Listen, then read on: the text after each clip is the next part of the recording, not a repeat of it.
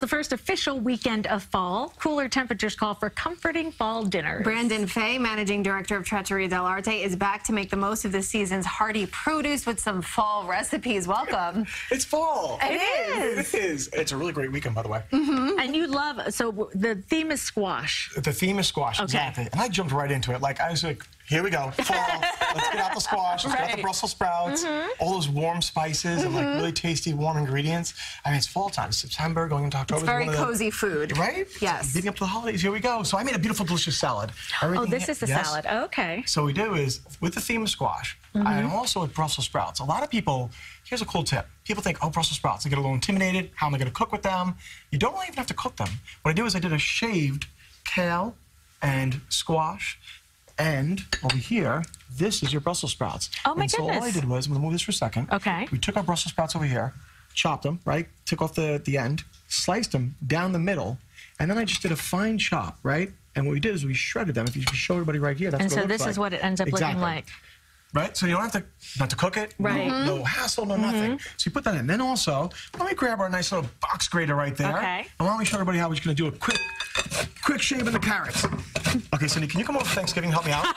Because that's amazing. so we've got the carrots there. Okay. We've got the uh, the Brussels sprouts. And I, I bought some like baby kale. Oh. And the same Oh. thing. This is a real easy, simple salad because there's no cooking. All I do is take the baby kale and the same thing. I just chopped it up. Why don't you throw the kale in there? Okay. We add some, add some more Brussels sprouts. Let's throw those in there. Want to give it some color and put some more carrot in there? Mm-hmm. I'll take that bowl back and be like stack over there. And then I see some bacon. and so now, There we I, go. you know, I love my bacon. So I took Right. some some uh, bacon and just crisped it up. You can use pancetta, you can use bacon. Mm-hmm. Then I made some lardones. You got some dried cranberries because of course it's getting time for fall. Yeah. And just do a Uh, pinch just of the. a pinch of that, depending on how hot you like it. Okay. Now I made a dressing on the side. I did some uh, some vinaigrette. I did a honey. Now there's a little honey. You could put a touch in there if you want. Okay. And I already put some, uh, just a little bit. That, yeah, we got that. That's perfect. Okay. It's coming. Oh my God, it's amazing. now, we also added some apples. And what I do is a really cool trick. This is pretzels, Pretzels, right? yes. Mm-hmm. Okay. I took goat cheese. I love goat cheese do and I love breading things. We took some goat cheese. We took some pretzels, put it in a food processor, pulse, pulse, pulse, pulse, made it super fine, right? So instead of breading with like panko breadcrumbs, I made it a fried pretzel goat cheese. Oh, oh, my my goodness. goodness. You So- need to try that. Yes, Cindy. let me try that. Thank you. And that looks amazing. I don't want to run Right? out of time for your next thing. What did you do? What did, and mm. then you just tossed it all together with your dressing, right? Toss it all together with my dressing, and then then that's everything right there. You got the apples, you got the butternut squash, which I just did a quick roast. It looks beautiful. Now, butternut squash, as you can see over here, if you want to point, that's the that's what mm-hmm. butternut squash is going to look like, right? When you get that from the supermarket, mm-hmm. Mm-hmm. nice big butternut squash. Comes down to about this ultimately. After you start mm. chopping it up, there's three sections. You've got your your middle, your top, and your bottom.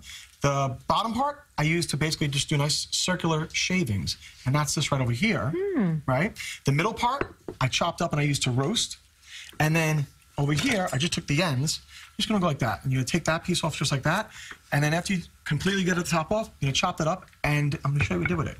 And to, for the round, you use this side of the grater? Ex- Well, Okay. actually, I use a mandolin. Oh, okay, I, would- I would use a mandolin, just Okay. sh- sh- right. So over here, we made.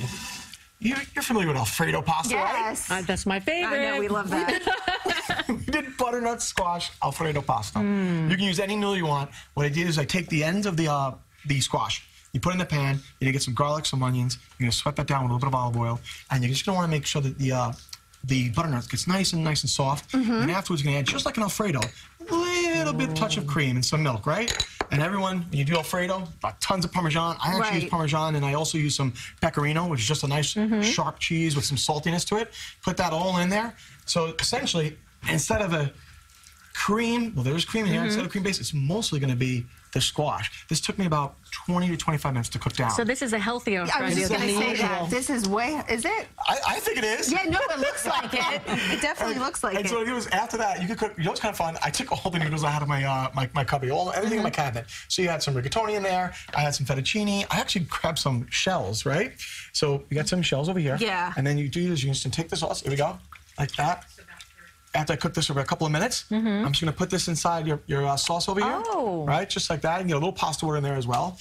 Right, start. You know, you want to nicely even coat all the noodles. That looks Right? delicious. Who wants to give this? Should we? I don't. I don't.